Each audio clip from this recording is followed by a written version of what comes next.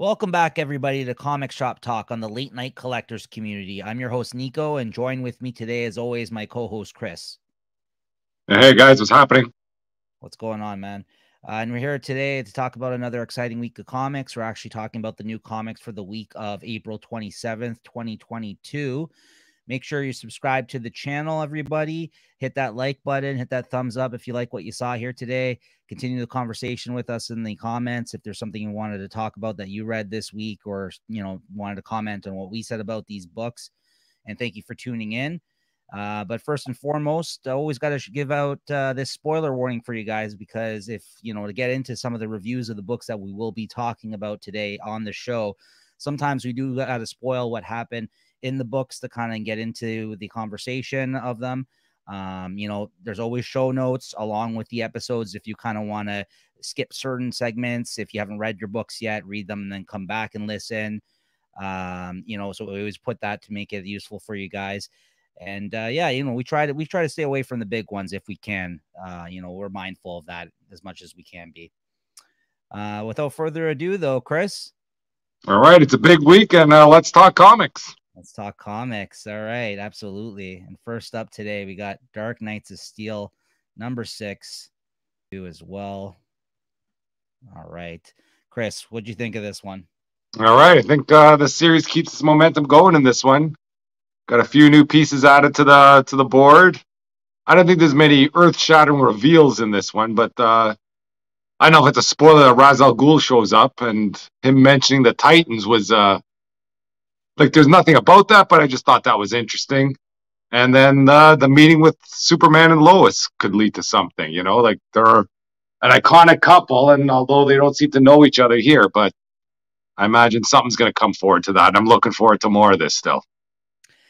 Yeah, man. I, I, as you know, I love this world. I love the direction of the story. As you mentioned, it's not like it wasn't as like a blockbuster of a moment issue as the one, uh, you know, a couple of issues previous to this one, number four, I think it was, where we gave it both favorite of the week, and then it kind of explained a little bit more about uh the Kents in that last issue, right?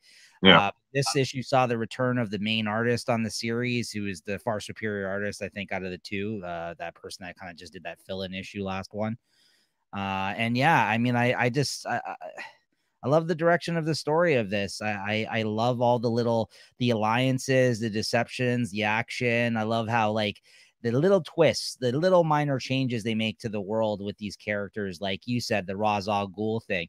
It's not just Ra's al Ghul, Chris. He's Etrigan the demon. Like I yeah, that's that's it too. That's crazy. And and, and like just even the demon come out, and then okay, that's great.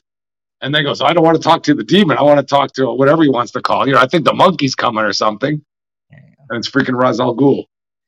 Yeah. So that's so yeah, John Constantine, of course, and he writes a great John Constantine, Tom Taylor in this as well. I thought, you know, he's pissed drunk when they find him, which is a very John Constantine kind of thing.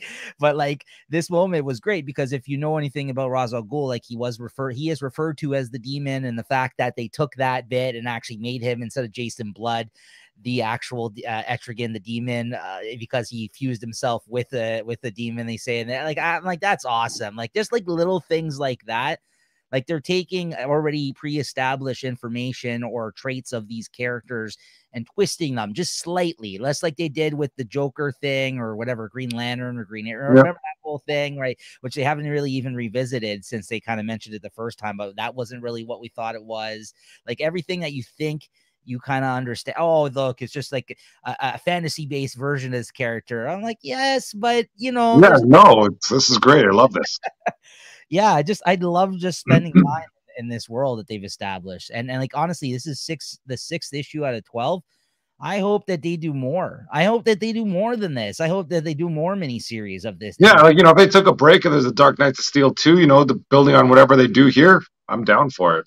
Yeah, yeah so yeah it's really that's all i got to say on it i just i just i i this is probably one of the like always almost at the top of my stack of every week or at the top of my stack that yeah it's the first comic i read. Yeah and i know it's a big stack this week too with some big names. There's only one that actually beat this one i think actually that was at the top of my stack which we'll talk about later but um but yeah it was the second thing i read this week and i always have so much fun reading this book so yeah um what'd you give it chris? Yeah four no problem Oh, I'm giving it a five. Oh yeah.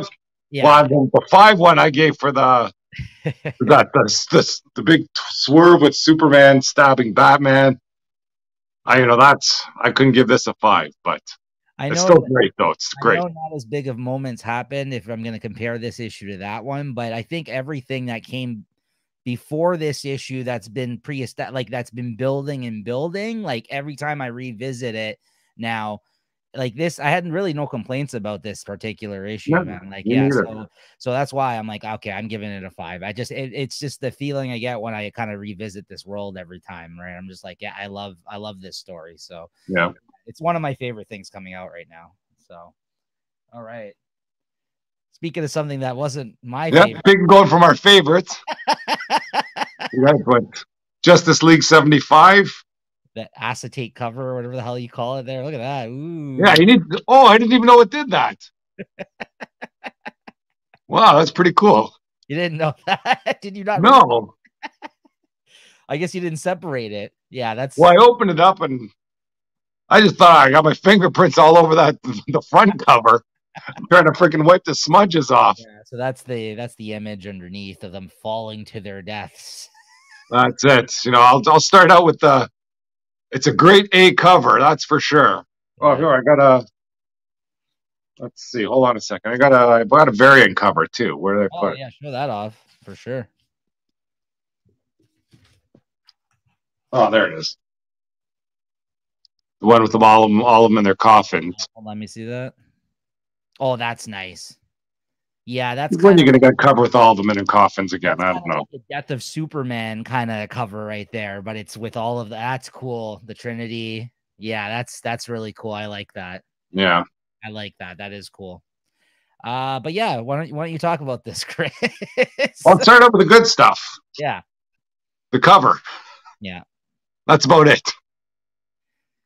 I I know they've been building this story in other issues. I think I've read some of them, like in that Justice League Incarnate. Yes, But for this series, this just comes out of nowhere. You know, like what they all just popped out of their, yeah, like that page there. They're all just kind of living their life. It spoils Action Comics, of course, because now it's because Superman is they pluck him orbiting War World, Yeah. unless they're trying to say this happened before all the World War World stuff. I don't know. yeah, And you know, I don't know this pariah character, and he just wipes him out like nothing. And come on, it's come on, give me a break with that. I don't know about that. I didn't, uh, you know, yeah. I don't want to go on this ride, but uh, I think I'm stuck on this train. I'm getting the next few issues at least because I think I got them on uh, of Dark Crisis. pre-orders. Yeah, Crisis? Okay, yeah. and, you know, unless that stuff really goes through the rails, I'm not I'm like you know I'm putting my July orders in. I don't know if I'll be ordering this stuff. I think I've pre-ordered the first issue of Dark Crisis so far, and I don't know how much farther I'm gonna go further than that, uh, really. But but so I, that's what I was gonna ask you, Chris, because I remember you talking about Justice League Incarnate on the show. I believe it was also written by Joshua Williamson who wrote this, and I believe um when you were talking about that series, my only knowledge of that going into this is kind of was was based on what you had mentioned about the series, and then they do show up in this book, and I was like, okay, this the Great Darkness thing. I believe Chris had referred to that that actually Yeah. happened in that other book, and you're right. If you weren't really following everything that was going on, like maybe leading into this, someone could pick this up and be a little bit confused as to like you know why all this is happening. But like, yeah, like if you're just reading Justice League, you know, the last issue, I forget what it was about, but it had nothing to do this comes in, boom. yeah it wasn't even the right same writer he left at that last story arc that he did and then williamson came in to do this to set up dark crisis essentially this is a prelude in the last issue of a series which you know uh spoilers this this this you know this false advertising on the cover here. Like they don't die. Like i mean like it looks like the trinity is in trouble i'll give you that but like it's so it feel it felt so boring and predictable reading this, Yeah. though, chris. I mean like then it was just like oh now the dark versions of villains have showed up and now it's like now Yeah. what we're doing and it's like a crisis right everybody? Like we've dealt with crises before. Like it just felt like I don't know. It just it, it, the buildup for me, which there was none in this single issue, because it was kind of like we were just thrown into it. Yeah, the issue seems to be good until uh, what's that? Green Arrow says, "Oh, let's go home for chili or something." Then you turn the page and pow! Yeah, Like I saw some spoiler panels of this where you know, like where they're all kind of get turned to dust. And when I was reading, I hope this isn't what's happening. And then, sure enough, it's it's what happens. It was fine. I mean, it wasn't like I don't think it was horrible, but it wasn't anything special. Yeah, there's the Dark Army right there. It's basically yeah, like that stuff's okay, but I don't know. I mean, like, yeah, um, it was there was enough action to go around, but like it just seems like DC for the last few years has literally just been folding one book an event into another event and it never ends. Like this is like yeah. like like you said, it just went from the Justice League Incarnate continuing that story into the end of the Justice League into their summer event. And then what's going to happen in the summer event? There's going to be like it's going to fold itself into something else, probably. like it's not like there's no, this is what happened. Now let's like go from here and tell interesting stories. It's just like one thing after yeah. another another. Yeah, like I imagine the fall event is going to be the return of the Justice League. Probably, like, you know, or maybe that's going to be their summer event. Who knows? Like, I don't know, man. It just it but, just like, uh, it just felt uninspired. Like you know, it's fine. It was fine. I mean, if it's like if you read any event or anything like Justice League related over the last few years, though, it was not very much different from anything really uh, that, that I. No. I know. Just I figured for the Justice League, for the death of the Justice League, they put in some more I'm tired of panels like that too. That's another thing that's starting to bug me. Those circle panels with everything coming out. This just means way too often in every comic. And then you don't know like which way to go. Like you're yeah, when you read around the circle and it doesn't really mean anything. And then the, the middle panel, which should be the big one, gets messed up because it's it's cut in half by the by the split page. You know, you gotta like spread your copy down. Well, that's another story. Yeah. But like I say, what I was talking about is, you know, they this was such a big event, you know, the death of the Justice League. You think they put some more effort into the story or a bigger buildup? You know, at least, you know, I think they're trying to play off the death of Superman. But yet all those doomsday issues before all that, like that was a big deal. And you know, he died in a in a you know, a true death sort of way, not just getting freaking wiped out by a magic spell or something. Well, well that's what I mean. I think I it, like that's what I mean. There's no buildup of the storyline to get to the like. There's no like iconic moment. There's no like, you know what I mean? Like, like yeah, they're just kind of just throwing shit out there. It seems like for this, right? Like to your point, like there was a lot of buildup that went into that that that story at least, right? Like yeah, like this. But you know, Doomsday was a new character. You know, he had a lot of freaking, you know, he had a lot of swag behind him coming into this. But this, you know, it's not like, oh, some guy that's, you know, they've bested the league before and he's finally got the upper hand. Like, I don't know who this pariah guy is. And he comes up with some power out of nowhere just to turn everybody to dust. Nah. Two. That's what I give it. Two. Wow. I will say the art was good. I yeah, they great. I like the art. That's for sure. I'm gonna give it a 2.5 for the art. I wasn't saying wow because I was going to give it a high rating, but I was just like, yeah, I'll give it 2.5 for the art. Uh, I like the art. I like the art. Yeah, I do like the art. It's good. The art is good stuff. But yeah, it just felt very uninspired. And like, yeah, you know what I mean? Like, I don't know. And I and I'm and and and I'm I'm glad well not glad because I would rather have you enjoyed this more than I did in that sense. You know what I mean? Like I don't want you not to like your book. Yeah. But uh, even you coming back into it at this point, like I feel sometimes that I'm just sitting here, like after having read so many events over the past, I don't know how many years since I got back into comics, like 10 years now or whatever, let's say. And I'm the bitter one. And maybe I'm just like over events, right? But even you saying that you felt it wasn't all that. Well, you know, I've heard so many events like like the DC or whatever, the Infinite Crisis, but those are all the first ones. Those were done a long time ago, I think. And like those might have been great ones to see. Yeah. But not this one. Yeah. Well, that's what I mean. I think I think that the fact that you are also saying that should kind of should go to show you like it's not just like you know what I mean? Like yeah not every event is great. It's rare to have a great event. Yeah so we'll see. We'll see. All right next up Thor 750 with the anniversary issue I guess of Thor 60 years celebrating 60 years. Yeah uh, or issue 24, the legacy numbering 750. 750, yeah. they come up with these things, but uh, 60 years of Thor. And this is um, the bookend stories were by the regular team of Donny Cates and then Nic Klein, one of the artists on this run so far with Donny Cates.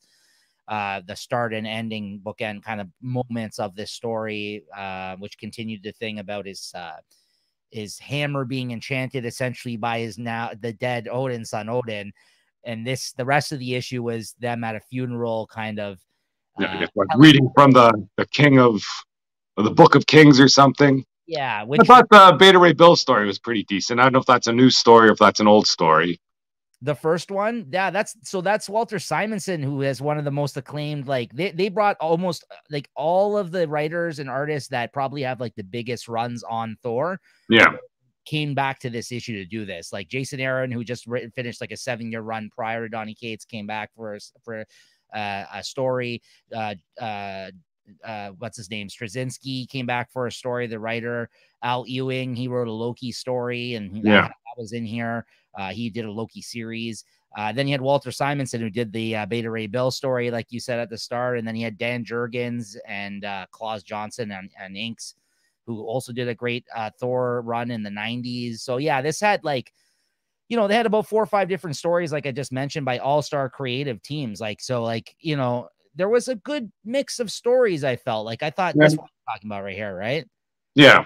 Yeah, yeah. So you so you like this one the best? Do you think out of all? I think so. Yeah, like I didn't know much about the you know Beta Ray Bill's storyline, and you know I guess this kind of just just shed some light on that where he was before he became Beta Ray Bill or before he was Beta Ray Thor, whatever they call him. Mm-hmm. Mm-hmm. I think my favorite one was the one that J. Michael Straczynski wrote. The uh, and Olivier Coipel was the artist. It's the one where Thor um, wrote his will. Yeah. Oh, yeah. That was a, that was a decent thought, one. I thought that one was my favorite, probably out of all the short stories. Um, I thought that was just really, a really interesting idea that he would write a will and he met with like the mortal lawyer or whatever. And he goes on and on and tells people how to like live their lives compared to yeah. gods who have these long lives and how humans they shouldn't waste a second of the of their lives yeah. you know what i mean every moment counts and blah blah blah blah blah it just it just felt very like you know what i mean it was it was it was it was interesting like i, I thought that was a, an interesting um take for him but it was really also the only modern day story i think that took place like everything else was like telling stories about uh, the past of Beta Ray Bill or the past yeah. of war and and and the Loki story took place like in the past as well like and he kind of uh, because that took place during the end of the his Loki series. They had a little editor's note or whatever. And yeah, I mean, if you if you I guess read- that's leading up to something because it said you know it's going to be continued on in the Defenders Beyond or something. Yes, yeah, yeah. Which that writer is also writing that miniseries. Yeah, but that didn't really hype me up for that Defenders Beyond book either. I think you have, I mean, to be honest with you, like, I think you have to have had some um, love for that series and knew that Loki series that, like, yeah. he, he had done because it was the same artist that was doing that series with him. So, like, I think if you read that stuff and were aware of it, but then other stories, to your point in this, where if you didn't even read it, you didn't need to have read those people's runs on the character because this is them just coming back and doing their thing. You know? Yeah, kind of doing a one shot. Yeah. So it's so there was, I mean, like any anthology type story thing, like there's always going to be ones that are better than others. But I thought it was a good mix of art and stories being told here. I thought it was, I thought it was decent. Yeah, I thought it was a decent issue.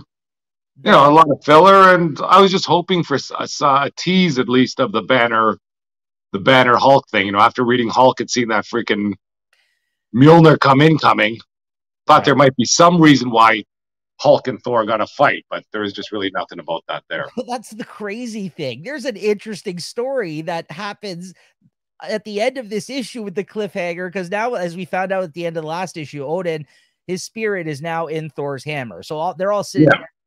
talking about this guy. Yeah, nobody else knows about it though either. Right. Thor didn't tell nobody because he's the king and he has kind of he, he and but now he's like plagued by his father's voice like coming out of like the hammer and he has so much confliction with his father and the way that he ruled and and he's still judging him as the hammer. So like i'm just like at the end of it like really that was the best story i think out of the whole yeah. Just like oh man i want more of that. And then and then to your point it ends and then we know we're going to go into this thor hulk crossover. Yeah it kind of just leaves that whole door open like you know he goes to valhalla and valhalla's empty. Right yeah. So and then Venom's supposed to show up after the the Hulk thing. Yeah, like what is Venom going to Valhalla? Is that what's going to happen? I don't know. I don't know. There's so much going on in this series. So like they're not I don't even know if they're gonna revisit that Odin story till like four issues later from now, right? Like, At least. It's crazy. Yeah. I don't know, man. It was it, that's that's very interesting that he's in the hammer. I really like that. I really like the scene when he they're doing like the funeral pyre thing where they like they send him out into space and, and yeah, they're gonna shoot the arrow of fire uh, with uh, the arrow on fire and that you know his casket. yeah. but it's like all the way far into the reaches of space, and like he's just like, "Here you go, Loki," and he like he shoots it, and he actually yeah, I guess that's why he doesn't want to shoot the arrow because he knows Odin isn't dead. he's in his hammer. Yeah. Oh, it's it's, it's kind of weird, but I like it. I like it because he's just like even even like when he gives him the arrow, he's like he's like father would not want this. You're supposed to do it as the next heir or whatever. And he's like, ah, whatever. When have you done anything? Yeah. Once and he gives it to him, and then later on he goes back to the room, and the, and the hammer's like, "I didn't want him to shoot that arrow." I taught you how to shoot a bow better than that. That's what I mean. I'm just like, "Shut up!" Yeah, so you just thing. Can't shut him up. I know because he needs them. That's his friggin' hammer, right? It's like you can't even get rid of that thing. That's like you need your hammer, right? Like he's he can get out Yeah. that friggin' Jean axe or whatever again if you really wanted to, I guess. But like Yeah. he wants that. I mean, he needs his hammer. It's Well, it doesn't talk to you, I take it.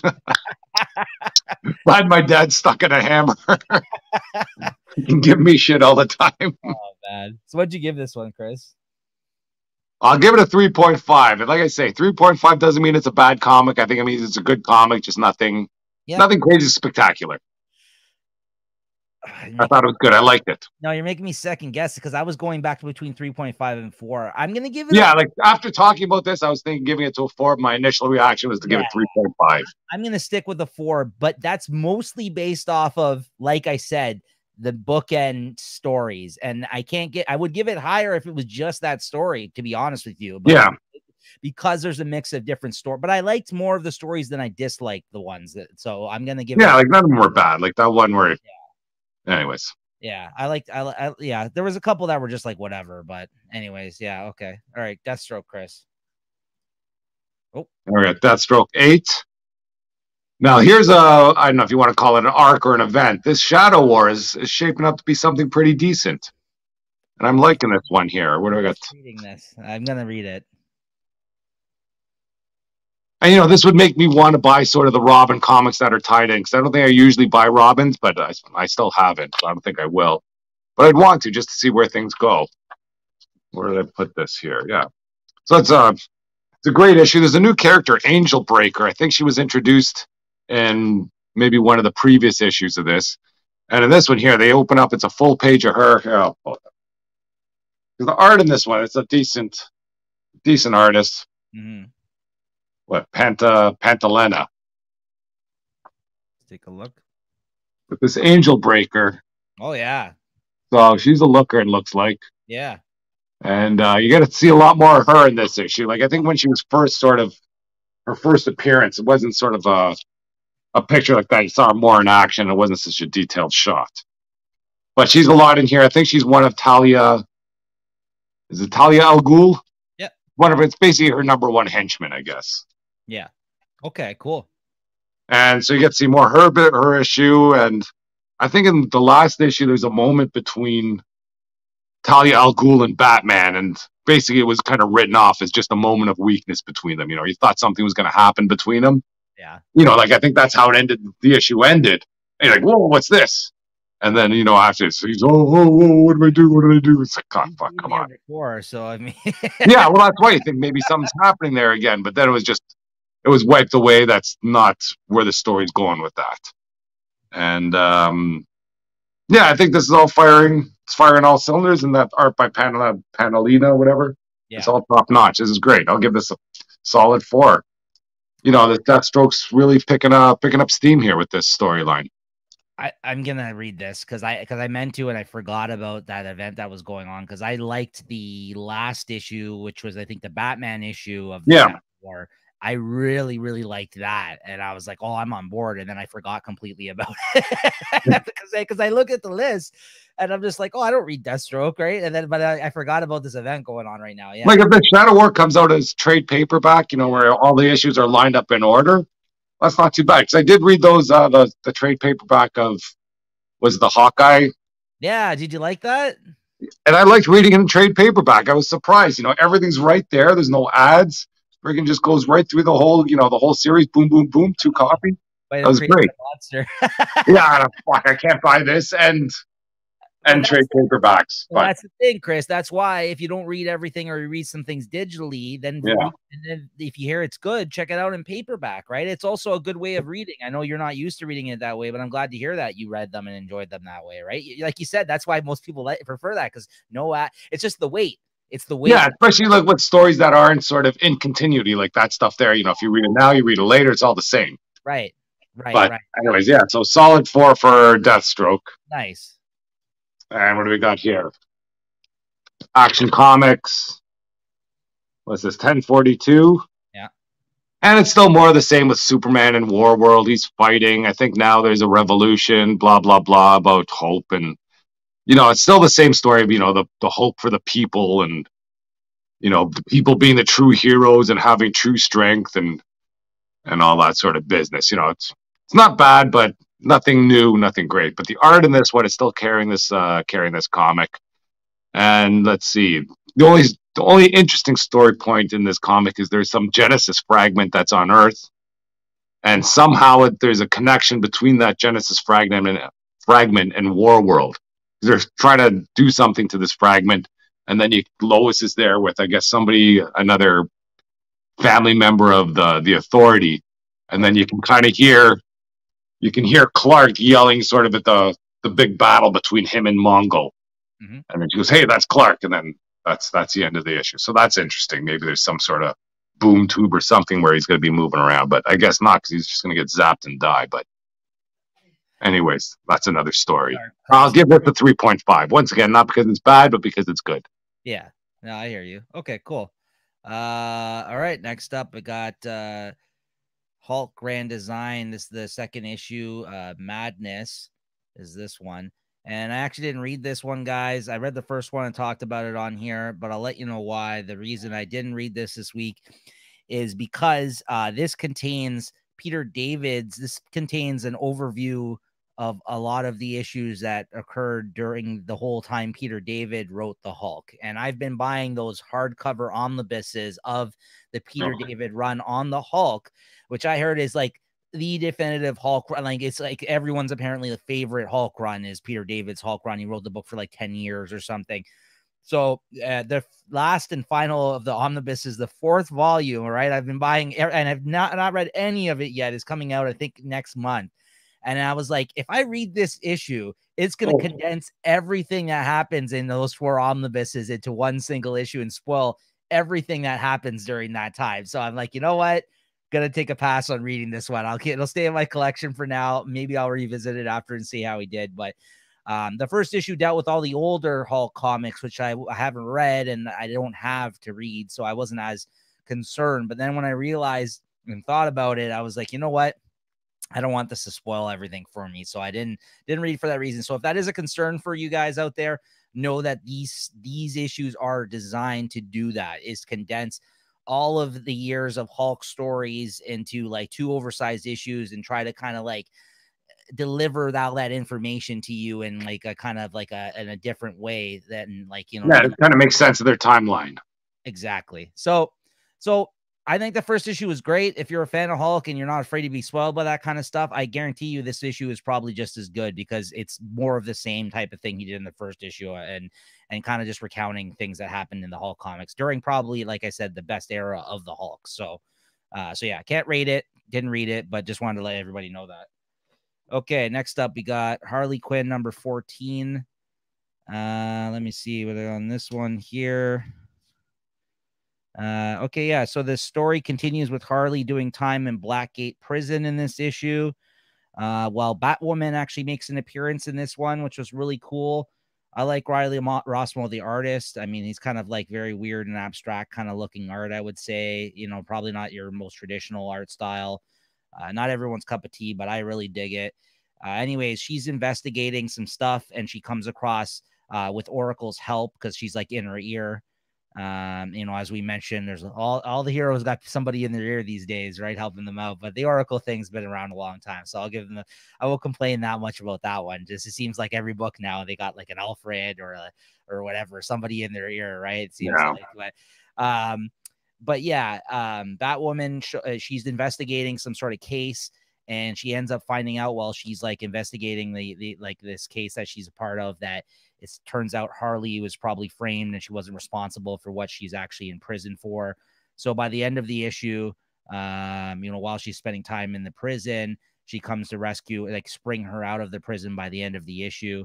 And uh, because you know, she found out that she thinks she isn't uh responsible and her friend Kevin comes and visits her in this issue and then it kind of gives you a look of Kevin with his new girlfriend and his relationship with this woman outside of his relationship with Harley who he just like really loves and respects as a friend and I really like that character in this. I think it kind of grounds Harley as like an actual normal person and not like a psycho like and, like and they're both people that have had damage and trauma as a result of the Joker um so I really like that dynamic. See like she visits he visits her uh, in prison but they're just like really good friends. Like I don't think they have a thing for one another, but like he's and he's currently in a relationship now. So it's actually it's been nice. It's 14 issues in developing a lot of different types of characters that are new to the, this book specifically and uh, giving her a kind of a purpose that it's been a while I think since you've seen in a Harley book. So so yeah, I gave it a 4. I thought it was a solid issue.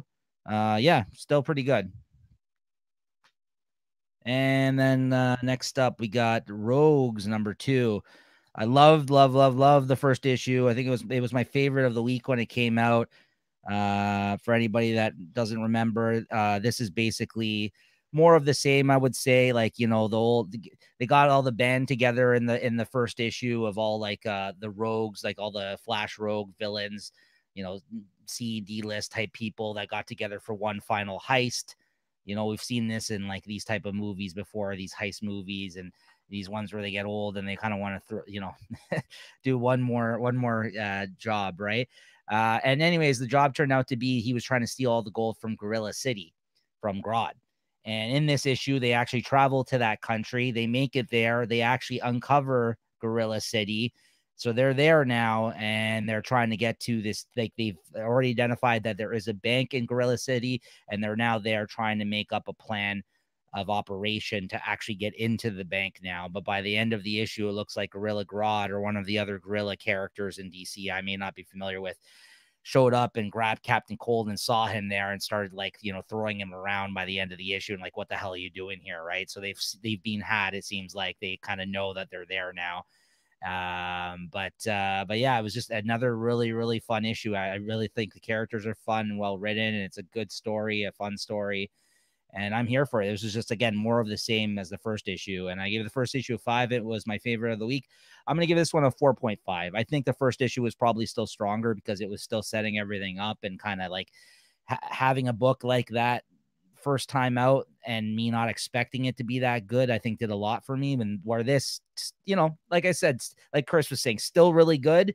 It's just I'm not going to give it as, as good as the last time. I think the intro was was a little bit better, but it's I mean 4.5 is nothing to sneeze at. It's a really really good series, guys. Check it out if you're not afraid to buy a magazine size comic. I should mention, like Chris. hint, hint. All right, I actually I sad I did read this, Chris, but sadly I didn't have my physical copy available to me uh, at the time I picked up my comic. So that's on reorder. Apparently, it didn't come in. So Punisher two. There we go.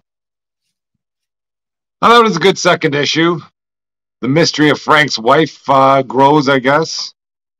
Because the battle lines are drawn between the hand and the apostles. I thought that was fun to see and the relationship between the, between Frank and the Hand is revealed a little bit. Yeah, you know, I'm still, but really, I'm still interested in its full explanation because they really, you know, they kind of hint at why he's there, but th- that's still a big jump for Frank Castle to join the to lead the Hand, mm-hmm. and um, I think I still think there's going to be a giant breakdown between Frank and the Hand coming soon, and that's what I'm waiting for.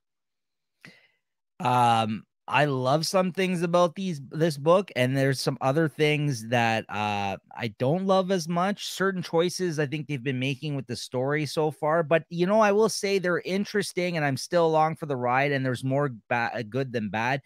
It's just like certain aspects of the story because it is a different type of Punisher story being told, which I think is a good thing because there really hasn't been that many different types of Punisher stories. It's really, really kind of one note yeah. for the most part over the years um, as much as I love the Punisher. Um, but I would say that the thing I didn't like though, Chris, is like you said, is the explanation as the of the relationship between the hand and this person. Like he's kind of like the emissary of like death. Like he see they seem like they think he's like the god of death, essentially. Like he's the he's well, he did seem to have some powers freaking brewing here too. But that's a result of being within their clutches, they seem Yeah. like, right? Like they're like the eyes, the red when they got red and stuff like yeah, yeah.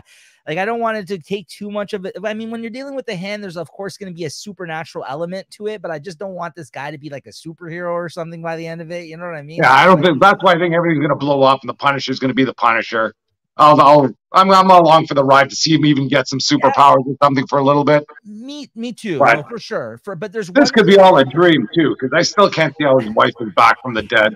And then they said when the children are coming too. soon. Yeah, he's like soon, and it, Yeah, that was I was gonna mention that. That's my favorite part about this. How messed up is it that he's literally post coitus sitting around in bed after just hooking up with her, touching her bullet hole scars, and I'm like, you're basically just fucking this woman right now. Like she just sits around all day. And he's like, Yeah.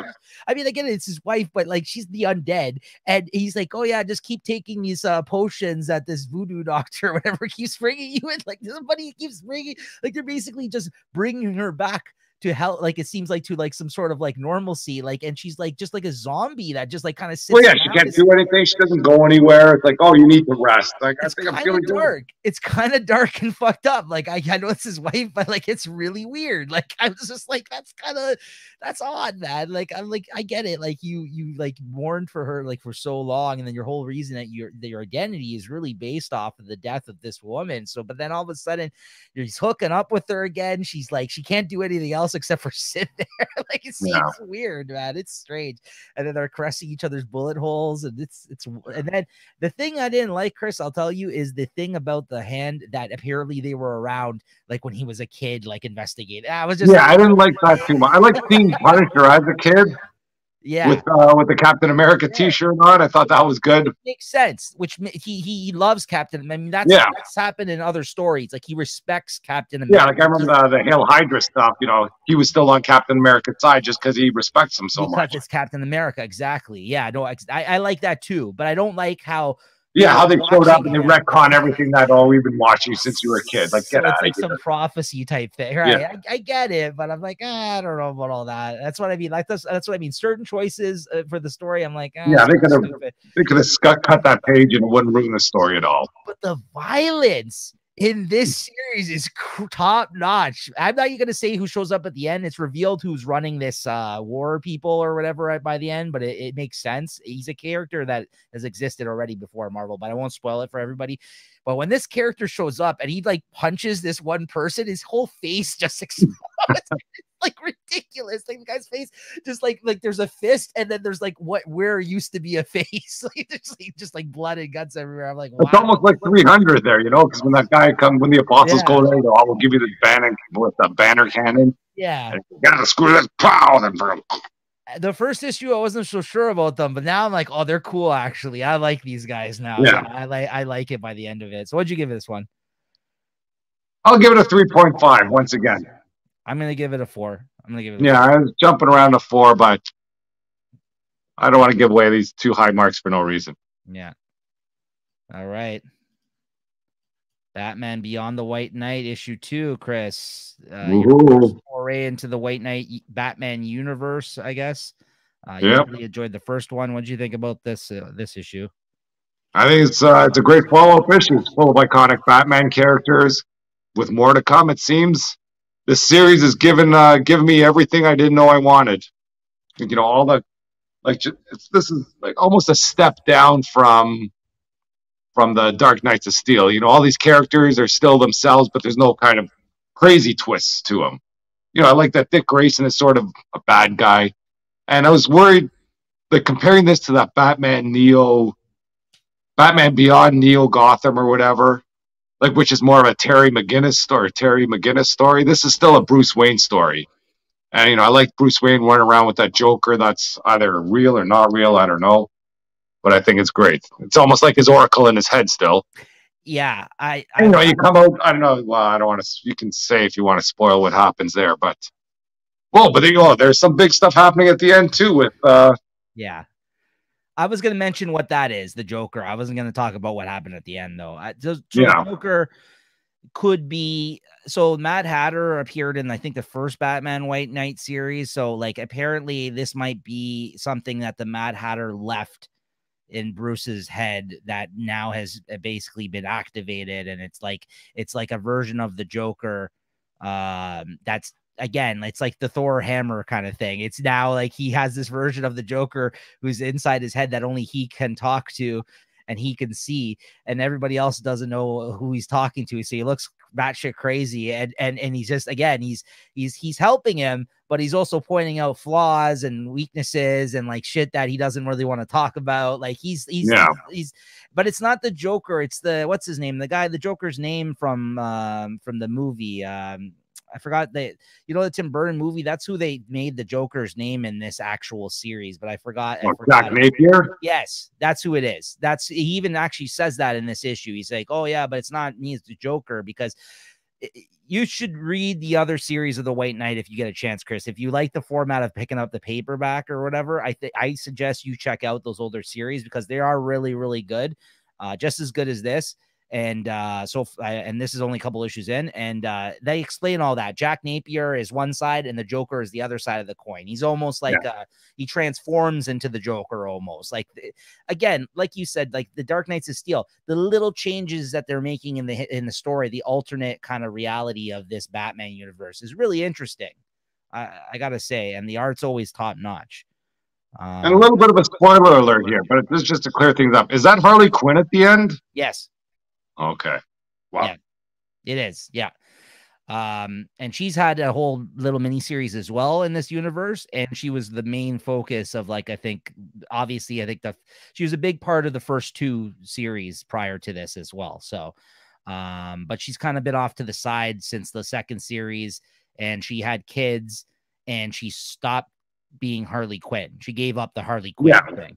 And then there's a really brilliant showdown, Chris, between there's an explanation of there being two Harley Quinns, Chris, and she's the classic animated series version, and there's like this shitty Suicide Squad. There's they actually come up with a way in this world that there was two versions of Harley Quinn. There was when she stopped being Harley Quinn, a new shittier version of Harley Quinn became like started coming around as a Harley Quinn. So it's again, he he takes all the best parts of any iteration of Batman really in this series and combines it into this story. Like he takes Batman the animated series and now he's taking Batman Beyond animated series and, he, and then he takes stuff from the comics and he, he takes things from the movies like and he draws fantastic vehicles. This guy, I mean, Sean Murphy does it all, man. He's a great artist and writer for these. Uh, and yeah, uh, what'd you give this one? I, I think this is Yeah. great.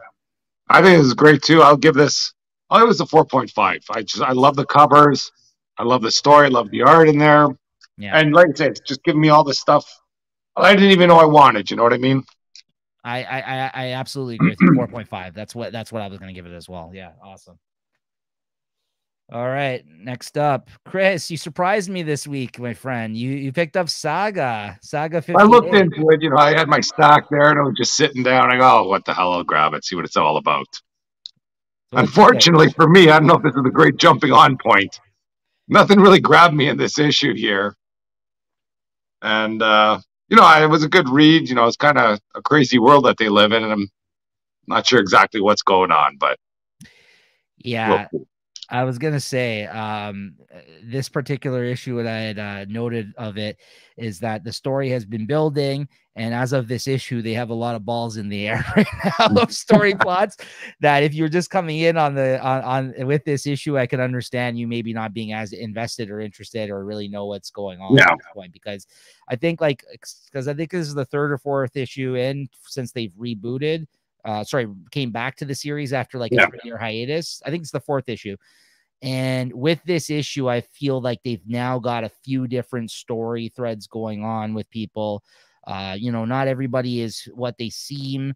Um you know there's a, some trouble headed some way for some characters by the end of this issue that we haven't even seen since they've restarted. Like we haven't seen them since the old the older last 50 issues of the series. So Um, so yeah, I, I could I could understand maybe what you not um kind of getting as invested with this certain issue though of this series because you know a lot has come before it, and even even even that being said, I think since they have restarted this series a few issues back, after taking such a long break. Since they did do a time jump, I wouldn't say that this current version of the story is my favorite compared to before either. So there's that as well. What do you think of the art?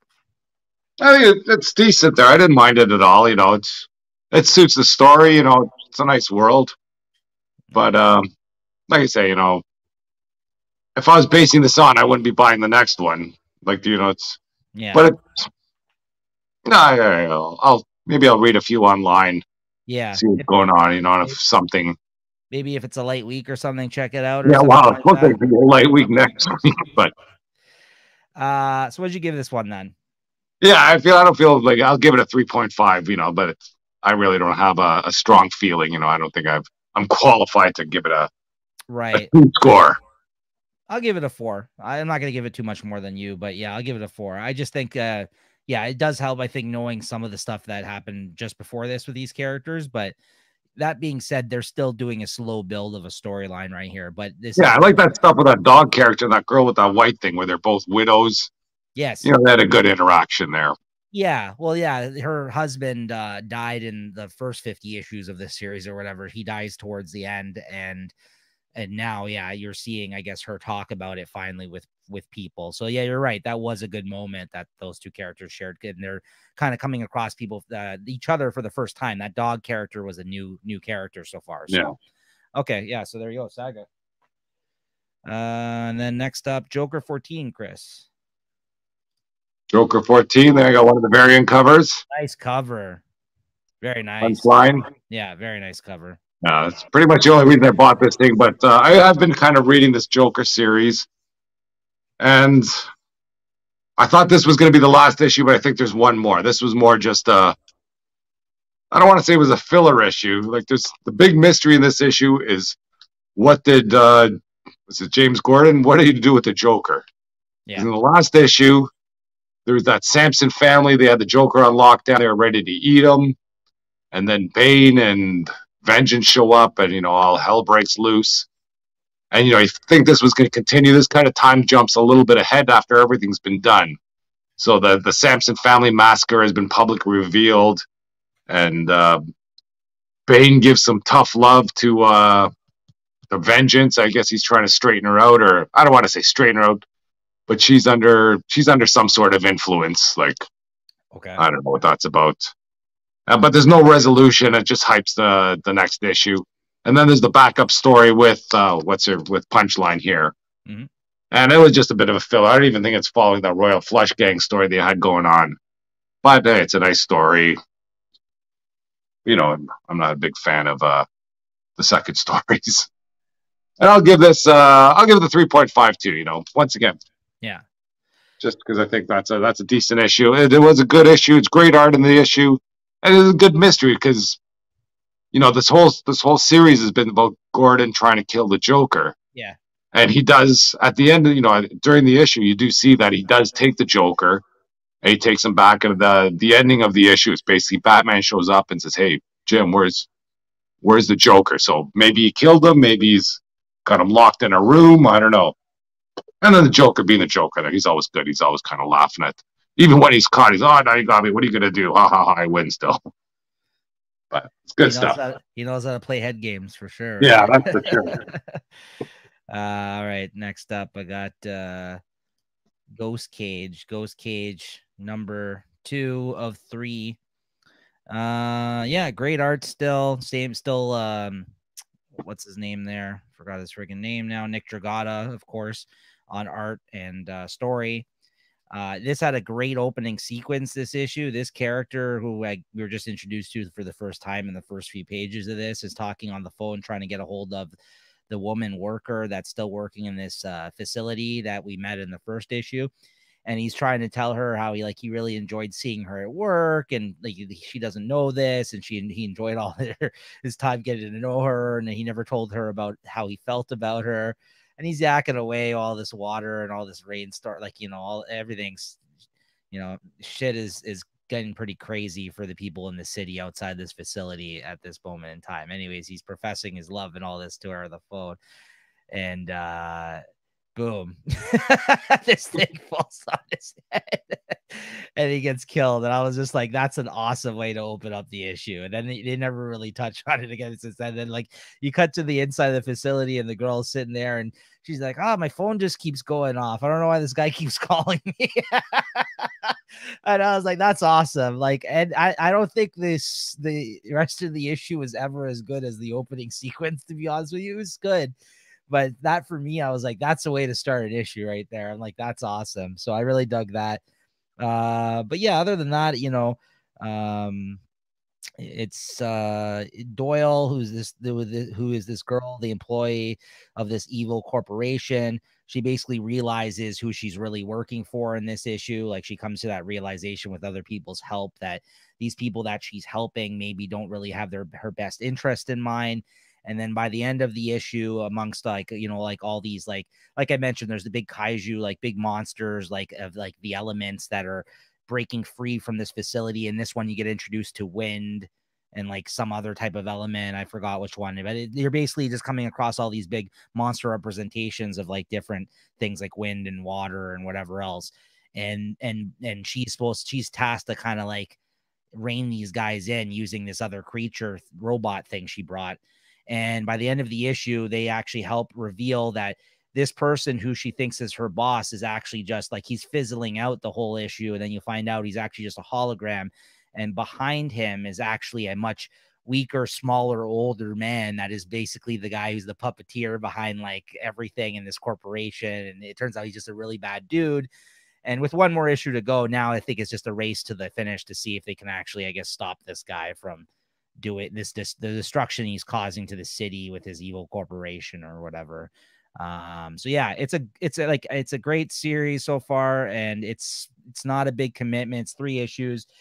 If you like manga or anime it definitely has that style to it. It's in black and white. It, it, his art is very you know has the speed lines and everything i think is very uh, reminds me of like an anime or, or manga comic or something like that. So i think if you're into that you should definitely check this out and only one more issue to go, so it'll be collected in a couple months in a trade paperback. So I, I give this a four. I'm a big fan of the artist. Uh, the story is fine, but the art is really what I've come here for on this one. So. And then we got Godzilla Rivals versus King Ghidorah. Uh, now, I don't really read Godzilla comics all that often. It depends. Sometimes good artists or writers work on the Godzilla comics that IDW publishes. So I'll check I'll check them out now and then, depending on who's doing them. This is a one shot issue by uh, drawn and written by Adam Gorham, an artist who's uh, I think he lives in Hamilton. He's Canadian and who's he's really good. I like his work a lot. Um, he, this is the first time I think writing like this issue. He wrote and drew this, and I think this is the first time he actually instead of working with a writer actually wrote it. And I think he did a pretty good job. This is just a one shot about Godzilla. Uh, essentially, it's it starts off with humans being like invaded by actual aliens from Mars and then Godzilla like comes up out of the ground and starts defending the humans and the earth because they're attacking his earth where he he's from, I guess. So like Godzilla comes out up out of the water and he starts fighting these aliens, and the aliens actually end up taking him down and uh, basically abducting him and taking them to his their planet, and then and then uh he ends up just in like this they i guess like a ring of sorts like just fighting i guess for their amusement and then that's when you actually see him uh meet up and fight uh, this king Ghidorah guy on this other planet. Uh and i mean if you're a fan of the godzilla films i'm sure this would be fun for you and you probably have more reference to a lot of this stuff than i do. I've only seen a couple to be honest with you so i'm not even a huge fan of the property. I mostly picked it up for the art but it was a fun story. He ends up going to this planet and the humans end up going there because they're still facing off and trying to uh, find resolution from this whole thing between the aliens and Earth. So the humans, they have a scientist that goes up there and they find Godzilla up there. And Godzilla, I guess, during his time on Mars's uh, planet, on Mars, the planet, he's sucking up all this radiation from its core or something like that. So by the end of the fucking issue, he goes like Super Saiyan because he's got all this power pent up in him. And like he just, you know, here. Eh, so like Mars's core or whatever they're saying, like he's getting all these radiation, like he sucks it in. There's like some, you know, some some sort of explanation like that. And he feeds off of it essentially. And yeah, by the next uh by the end of the issue, he just goes crazy. it just blows everything up. The humans escape and they're like, well, I guess that does it for this alien race. But what happened to Godzilla? And he's still out there, probably, folks. so we'll see where he lands next time. These rival maybe he jumped from Mars back to Earth. These rival issues apparently are just like one shot issues they're doing of him uh, facing off against different type of kaiju creatures from the Godzilla movies. Like King Ghidorah, I guess, was established in other films. So like you know, just it'll be like, you know, what is what, you know, there's that big butterfly guy, and you know what I mean? Like, I forgot uh, Mothra. Mothra. I, am sure there's a rivals issue that's like Godzilla versus Mothra. They've just been doing all these like one shot issues with like different artists and writers, and it was fun. You know what? I had a lot of fun with it, to be honest with you, as you can tell. Like, I gave it a four actually. I thought the art was great. I thought the story was just like, just dumb fun and to the point and kind of what I was looking for, I guess, in the Godzilla comic. So there you go, Godzilla. All right. The scumbag issue 13. Chris, you picked this one up as well. Did you pick it up for the cover? Yeah, let me see. Yeah, the variant cover. That's like a Jaws homage. Oh, that's cool. That's cool. Very neat. So, what do you think about this one with this being the penultimate issue, Chris? Because this is the second last issue I just found out at the end of this issue of the series. Yeah, that's nice. I read that too. I like the Fonzie cameo there. yeah. yeah, right there on the first page. Hey. Can't go wrong with Fonzie in your comic. No. Yeah. But uh, I, you know, I'm happy that the scumbag is an actual scumbag. he is. Oh yeah. You know, that Jerkler, you know, I know what's going on with him and that uh, robot. Is that a robot that he's with there? It's a repurposed uh, robot that he wanted to become a sex bot who's refusing to have sex with him. Yeah, pretty much. That's the great part about it. Not that. There's a lot of stuff about ideologies or battling ideologies, and that you know that's decent. That was good. Like I said, I can't really comment too much about what's going on, but it, it looked like it has been a good series and uh, a little bit of a smart comic, I guess. But it's fun, you know. And his powers fail him, and I don't know if his his middle finger is with what unleashes his powers. Yeah, uh, so yeah, this is basically yeah the penultimate issue. Like I said, you find out this is the second last issue. The next one's the last one. Running out, running a bit out of steam. I'm actually kind of quite glad that this is the, the the next issue is the last one because this has been all one long story they've been telling the whole way through, not just really arcs. Uh, eh, so I think that I got the point of this. Like, you know, some things don't need like 50 issues. Yeah, you don't need 15 issues to talk about, you know, different no. ideologies fighting each other and trying to find or middle ground, you know? Exactly. I mean, this is great and all, but by this issue, I'm like, okay, I get what you're trying to say with this. You know what I mean? Yeah. Like, unless he like pulls something out of his ass with this last issue where, you know, some make some last poignant, you know, opinion or point on something. I'm just like, okay, yeah, I get, I get, I get what this story was. So, but it's been good. It's been good. I have no complaints. Um, but I'm glad it's wrapping up. Uh, you know, our favorite dirtbag double agent still stuck in between two opposing forces in this issue while still trying to have sex with his with this with a robot that's he's trying to make a sex bot and does not want to have sex with him. And it's he's all about peace and love, baby. Ernie Ray Clementine. so like there you go. That's that's the scumbag. It's actually a really it's it was a really fun story. I'm looking forward to the last issue. I, I I've had a lot of fun with this, and like Chris said, it's it's commenting a lot I think on yeah different ideologies and stuff like that, ways of like uh you know being the the left and the right and whatever you know yeah. and love like you know hippie kind of ways of I'm just gonna have sex and do drugs and, and and somehow he's the guy that they all have to depend on in this scenario somehow and that's what makes it kind of ridiculous and great right? So uh yeah. So what'd you give this Chris? I'll give this 3.5 same. I gave this 3.5 as well. So yeah do like that cover though. I don't know if it has nothing to do with anything, but seems like this Jaws homage has been around on a uh, different co- different comics. Yeah, I didn't know that was a thing, but that is a cool cover. Absolutely. All right, Chris. So it's uh, it's uh, it's stayed in our our last slot on the show here, despite not coming out three times a month, but it looks like at least twice a month for now. Ooh, look got a variant cover here. The Gwen and Mary Jane. Why not have both, guys? it's why I it, the Black Cat and Mary Jane. I know why Black Cat's on it, but I think uh Artgerm did cover. I said Gwen. I meant yeah, I meant Black Cat. Yeah, did, uh, Artgerm did full covers of Mary Jane and a full cover of Black Cat.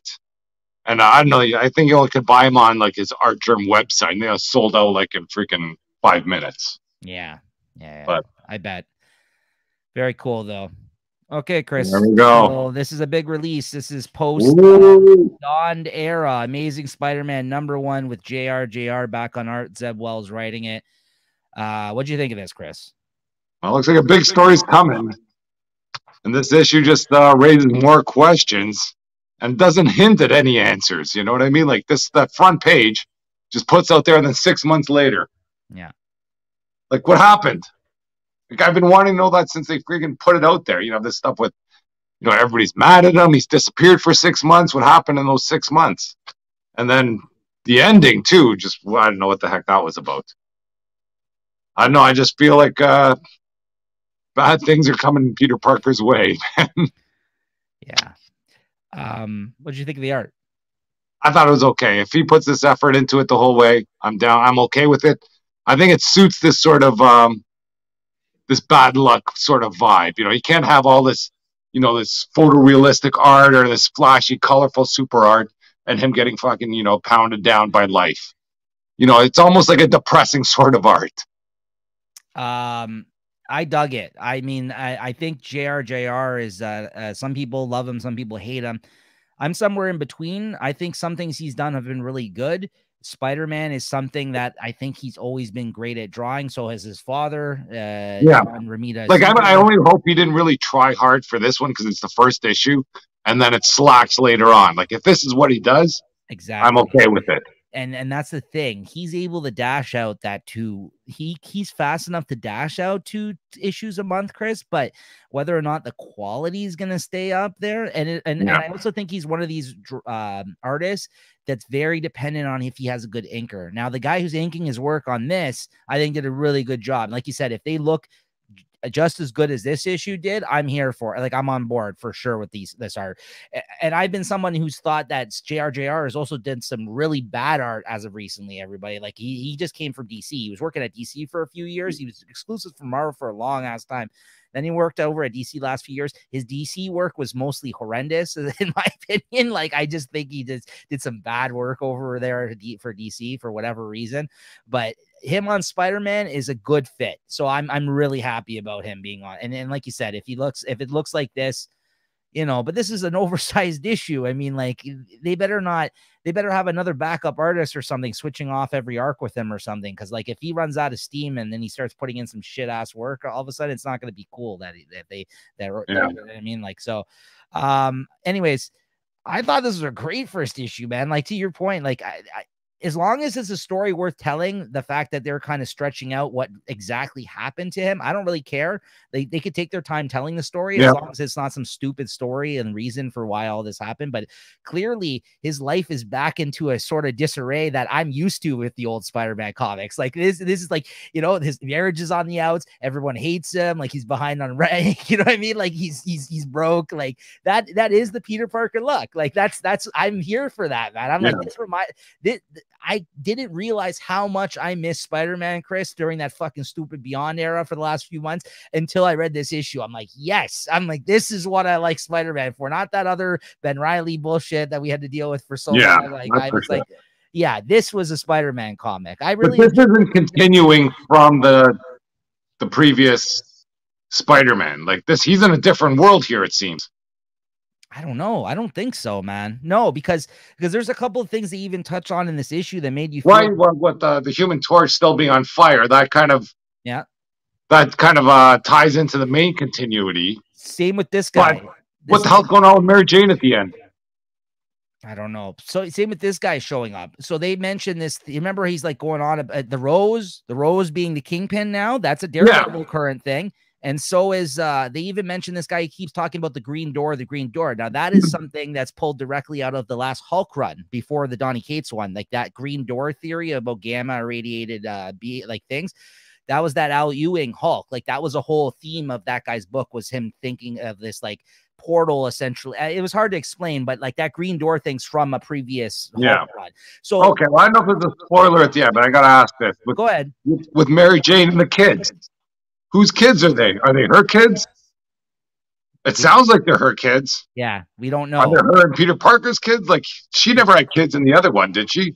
No, but this could also be there's the Renew Your Vows universe of Spider Man where Yeah, like that's what I'm saying. It's not continuing from the Spider-Man '93, like in that same world there. I don't know. I guess we'll find out. I guess we'll find out. But like that cliffhanger was pretty crazy. But even this thing with Robbie, uh, Robbie's son dating Tombstone's daughter, that is also from the previous. That's from the last thing beyond. Thought that was out there too. Maybe I don't know. the before the Beyond era of uh, Spider-Man, the uh, Nick Spencer stuff Yeah. that was established in that series. So I don't know, man. Like I don't. Maybe she's with somebody who has kids or something. I don't. I don't know. I really. Like you're right. That other than that, that's the only thing that didn't make sense out of everything in this issue. Like Now, that was like what? What's like you know this like a freaking yeah, different world here or something?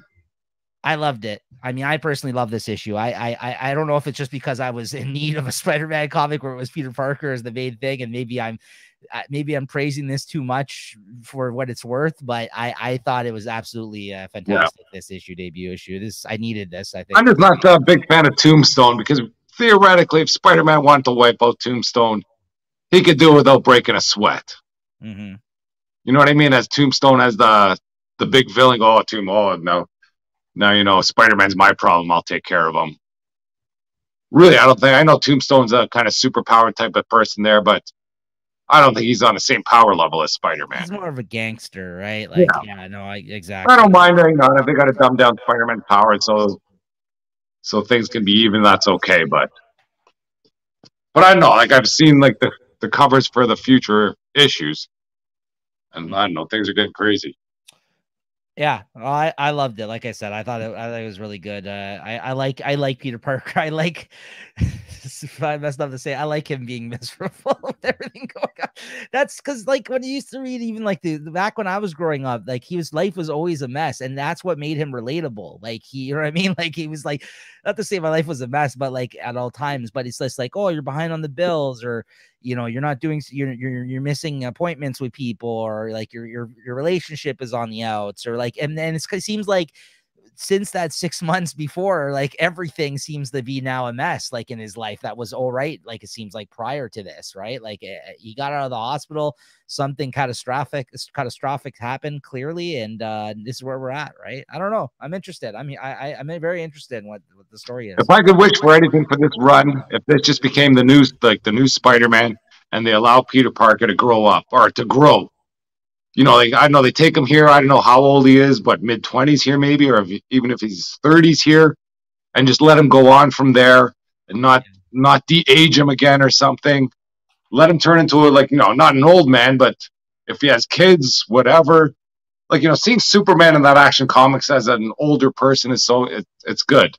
Yeah, And I don't know why they can't do it with him. You know, they can have all, you know, and freaking give Miles Morales some space to be the freaking Peter Parker or the the Yeah. Spider, the young Spider Man. You know, because now he's basically like, you know, he's, he's cutting Miles Morales' grass almost. You know, because they can't have the two people be the same sort of person. You know, I agree with you. I like seeing them age the heroes up too, but uh, and uh, you know, but you know, it doesn't have to happen in in one year or two years, but just let him go and not have a. You know, a, a 50 issue run, and then okay, we're gonna bring somebody new again, and we just reset him back to to where he's you know 25 or 30 again or something you know yeah. but that's besides the point i thought it was a great issue as well i love it i'm down for it i'm looking forward to more what'd you and um, well i'll give it a 3.5 Oh, yeah I, I don't think it was spectacular i don't Five. like tombstone five.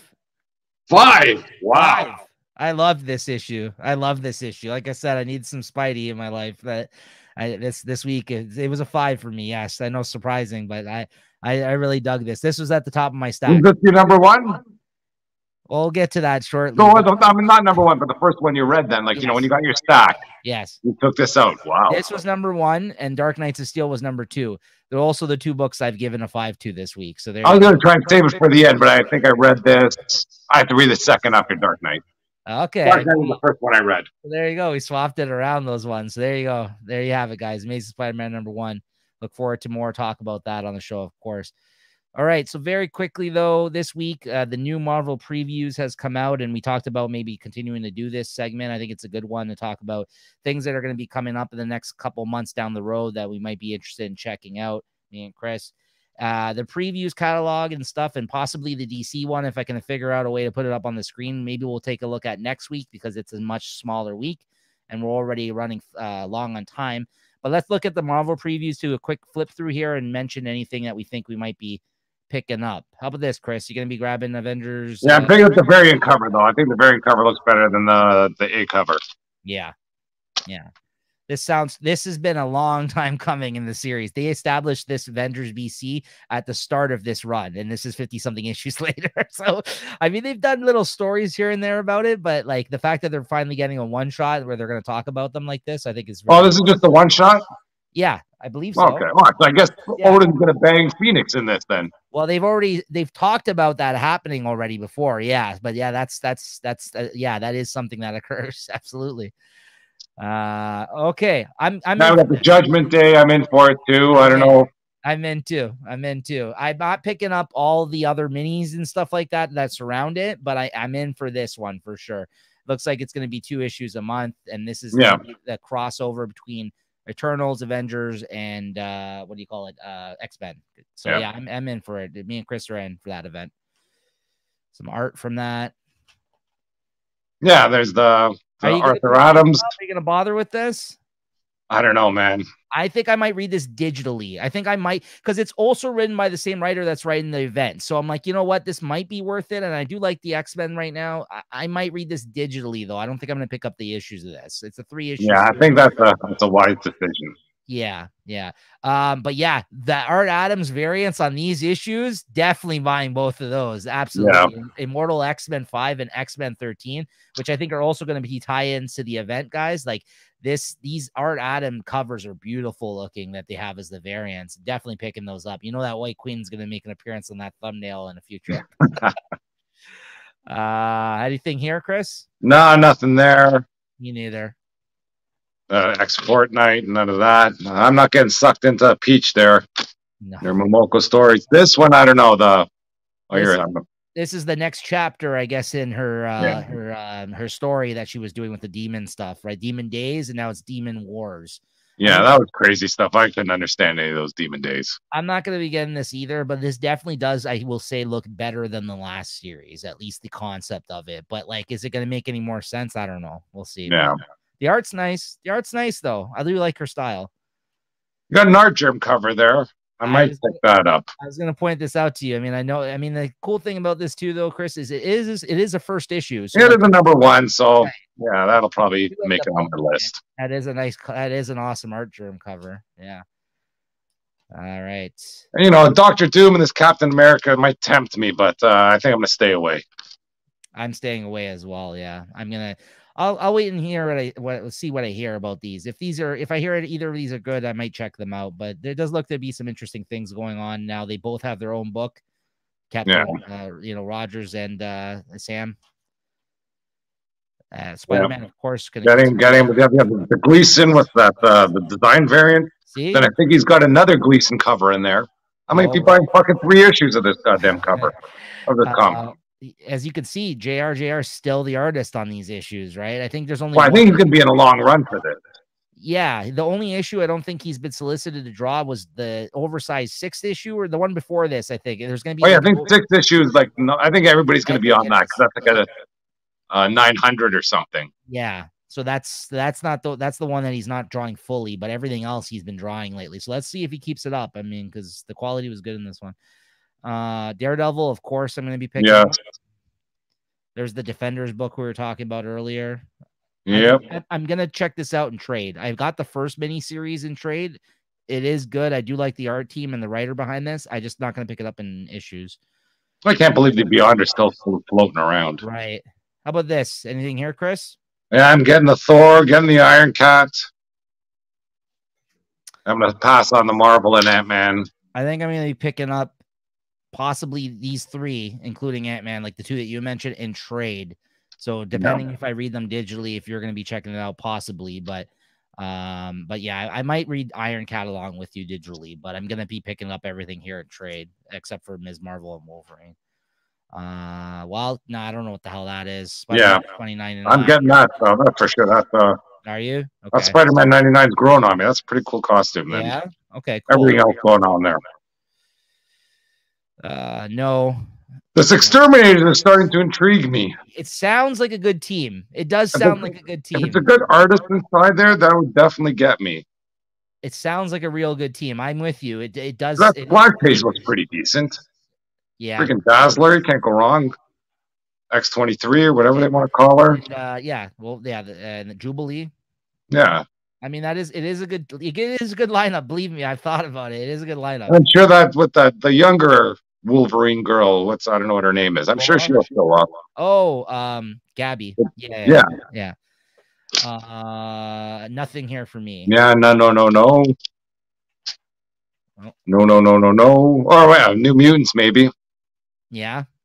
Oh, Magik! It's Magik. Yeah, be Magik trying to get back her uh, her hell business. Joe. uh, I don't know. There's variants. Is that the Phil Noto? Is he writing this or something? Drawing it, the artist that was on that X Men Devil's Reign series. Yeah, he's good.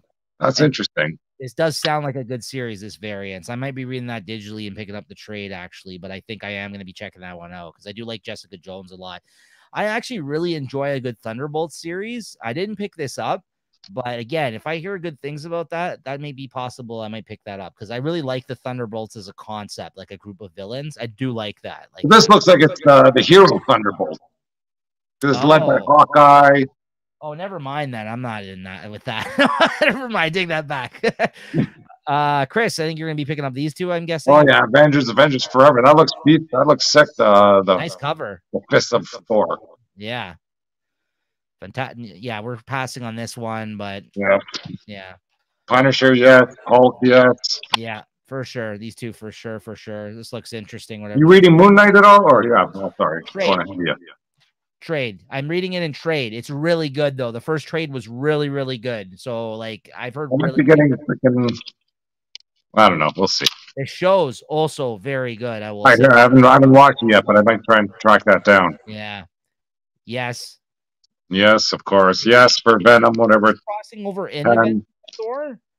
No, I don't think so. Okay. Yeah, that's a pretty crazy. What's going on here? This is gonna be fun though. I think uh, Donny Cates, you know, with Venom again. That's cool. I'm I'm I'm I'm there for that one for sure. Uh, how about this, Chris? Anything here? Gwenverse? Um, maybe. Oh, yeah, Gwenverse for sure. It's the end of that. Fuck that Carnage. Maybe I'm not. You keep second guessing yourself on that carnage, eh? Well, he's supposed to bond with someone that's supposed to be crazy, like, and, but they're talking like Hydro Man is still alive here. I thought he was dead. Yeah. So, but anyways, we'll see. Um, I'm picking up Fantastic Four still, and I'm gonna yeah. continue with the Savage Avengers. I hope this is good because uh, I've already now this will be three issues in for pre-ordering. So, uh, yeah, you know, I think I'm. Yeah, I'm there for Captain Marvel, Iron Man. Oh, where and Doctor Strange five looks like he's come back from the dead. Yeah, yeah, nice. zombie. I'm in for all. I'm. uh I read these two in trade. Like I do read these yeah. two that you're reading in issues, and I I I, I agree. Both great series, but uh I'll pick up Strange in issues for sure. Uh, I'm I'm actually gonna grab this. I'm down for a Predator comic, man. I'm not so much in the aliens, but the Predator. I was like, you know what? I'm gonna try this out. I was actually like, because I never I ignore that whole Alien Star Wars section for the most yeah. part. I'm like, you know what? I literally dig Predator. Uh, I'm like, I'm liking the Ghost Rider Wolverine comic cover. Yeah, but maybe. Yeah. But the only thing that's getting me is this Predator with him holding Iron Man's head. If that's just a freaking swerve cover, if if he's in the Marvel universe, I'd be so down for that. Even if it's not like in the true, but but yeah. if he's fighting all the Marvel people, but if he's just Predator and you know, in normal Earth, and he comes in and he's going to kill uh, some kids or whatever. I think it's just going to be a gimmick for the cover, personally. Chris. Yeah, that's what I think. Aliens really, Aliens had a bunch of covers with the Marvel characters on it as well when it came out, like variants. But yeah, but they never crossed over. They never crossed over. So I mean, if they're gonna do the same thing with this, but I really like the writer and artist on this, so I'm gonna check. I, I'm checking it out because, like, like I said, usually I don't, but I'm like, I do prefer Predator to Alien, so I'm like, I'm gonna check this out. I think I just I think it might be fun. So we'll see. We'll see if it yeah, it's not bad. We made Predator comics already that are freaking garbage. Anything here? Star Wars? I know you. No, no Star Wars. No? You know, unless there's a good Vader cover coming out, but yeah. or you know, a good Star Wars cover. I'm getting that. Uh, I think I picked it up by accident. Uh, it was like a. It's like a not a trade, but it's three issues of that Tales of that uh, the Black Chewbacca. Oh, Black Krrsantan or whatever his name. Yeah. yeah, yeah, yeah, yeah. I thought it was just like I thought it was a cover just of him in a new issue, but it turns out it's basically his first three appearances or something like in Doctor Aphra and whatever. Right. Okay. I picked it up on. He's a good character. Uh, yeah, I guess I'll get to read up, see what he's about. Um, but yeah, that's and then I'm picking up the hardcover of this bounty hunter stuff when it comes out because I, I I like the bounty hunters from Star Wars, but again, not picking it up in issues. So yeah, that does it for the issues. Then the rest is uh you know collections. They're bringing out a hardcover of Secret Wars from back in the day. That's pretty cool. You see the Art Ross one in the bottom there? Yeah, he does a he does a recreation. That's pretty Mike, cool of the Mike Zeck cover. Yeah, but I think I'm getting the original. I, I am picking this up, but anyways, you have the Secret Wars already? What's that? Do you have the Secret Wars already, like the the original, or no? No, no. Have you read it at all? Yes, I have. Yeah, oh, okay. I, read, I, read, it. So I, am gonna be picking up that hardcover though. So there you have it, guys. Since we don't do collected editions, we won't get too far into that. But uh, but yeah, that's the Marvel preview. Stay tuned for next week. Maybe we can do the previews magazine and the DC. Um, it's just much smaller. Well, smaller week compared to this week. I don't know. At least maybe for me and maybe not Chris. It sounds like. All right. Anyways, guys, uh, Chris, mentioning uh, speaking of that, why don't you let us know what your uh, looking to pick up next week? Okay, next week it doesn't look like much. I got Avengers Forever five, oh. Iron Man nineteen, Spider Man twenty ninety nine, Batman one two three. That's it. That's it, eh? Okay, how, how many is that? It's like four. Maybe I have a couple pre-orders that I forgot about, but okay. I don't think I have that many.